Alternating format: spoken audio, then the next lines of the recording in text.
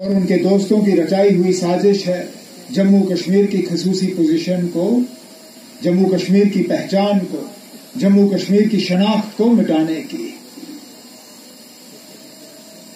लगातार पिछले दिनों से आपने देखा होगा, एक के बाद एक हमला। पहले तो इस मुल्क के वज़ीर खजाना जनाब अरुण जेटली साहब ने कहीं फेसबुक पे लिखा था, वो खबर बनी। कि पैंतीस ए को हटाना चाहिए। फिर परसों की बात बनी कि बीजेपी का जो सदर है, अमित शाह, उन्होंने कहीं टीवी चैनल पे कहा कि ये बीजेपी की पुरानी बात है। हमने हमेशा कहा है कि पैंतीस ए को उठाना होगा, तीन सौ सत्तर को उठाना होगा। और जो कसर बाकी रह गई थी, वो कल आंध्र प्रदेश में इस मुल्क के वज़ीर आज़म साहब ने खुद पूरी की। जबकि मेरी बांडीपुर की तकरीर को उन्होंने न सिर्फ़ मुल्क में, बल्कि पूरी दुनिया में चलाया। शायद ही कोई देखता मैंने बांडीपुर में क्या कहा। लेकिन वज़ीर आज़म साहब, उनको मेरी तकरीर जो है, ठीक नहीं लगी और सीधा सीधा मेरा इस्तेमाल किया दूसरी पार्टियों पर हमला करने के लिए।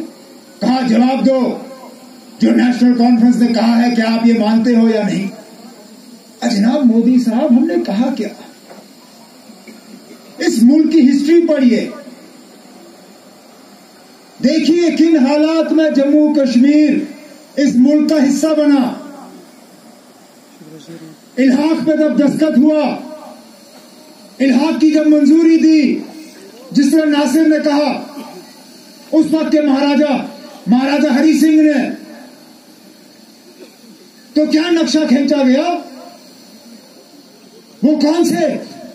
ये ताकत थे जो मरकज ने रखे। और कौन से कौन से हकूक थे, जो रियासत को दिए गए। जिस वज़ीर आज़म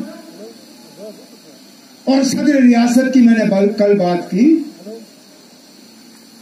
ये कोई नई बात नहीं है।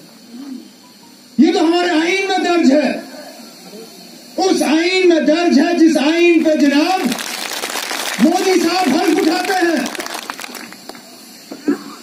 जब वो संसद में पार्लियामेंट में खड़े होकर पार्लियामेंट मेंबर का हल्फ लेते हैं। जब वो राष्ट्रपति भवन में खड़े होकर प्रधानमंत्री वज़ीर आज़म का हल्फ लेते हैं तो उसी आइन का हल्फ लेते हैं, जिस आइन में ये लिखा है कि जम्मू कश्मीर का अपना नक्शा होगा जम्मू कश्मीर का अपना झंडा होगा जम्मू कश्मीर का अपना आइन होगा, और उस आइन के तहत हमें अपना वज़ीर आज़म और अपना सदर रियासत होगा। मैंने बयान दिया ना, और बयान में मैंने गलत क्या कहा? मैंने वही बात दोहराई जो हकीकत है। क्या ये दुरुस्त नहीं है कि जिस दिन से जम्मू कश्मीर की रियासत इस मुल्क का हिस्सा बनी लगातार उन्नीस सौ पैंसठ तक हमारा वज़ी अजम था, सदर रियासत था, ये एक हकीकत है। और मैंने नेशनल कॉन्फ्रेंस की तरफ़ से भी कोई नई बात नहीं की। जब मैं एनडीए में वाजपेयी साहब की हुकूमत में मिनिस्टर था, उस वक्त भी हमारा मंशूर यही था। उस वक्त भी हम अंदरूनी खुद मुख्तारी की ही बात कर रहे थे। उस वक्त भी हम प्री 47 की ये पोस्ट प्री 53 की बात कर रहे थे। तो अगर उस वक्त मेरा ये कहना सही था तो आज मेरा कहना गलत अचानक कैसे हो गया? हम उसी जगह खड़े हैं, जिस जगह हम उस वक्त भी खड़े थे। कि हम इस रियासत की अंदरूनी खुद मुख्तारी को दोबारा बहाल करना चाहते हैं। और प्री 53 जिस जिस जिन शराइ के बुनियाद पर जम्मू कश्मीर की रियासत इस मुल्क का हिस्सा बनी उनको हम दोबारा बहाल करना चाहते हैं। नई बात तो कोई है नहीं। तो आप किस लिए? यहाँ इन, इन, इन तीन सीटों में। हाँ आर्टिकल 370 बचाने के लिए और पैंतीस से बचाने के लिए पैंतीस से और तीन तीन सौ सत्तर को बचाने के लिए तो हम किसी के साथ भी काम करने के लिए तैयार हैं।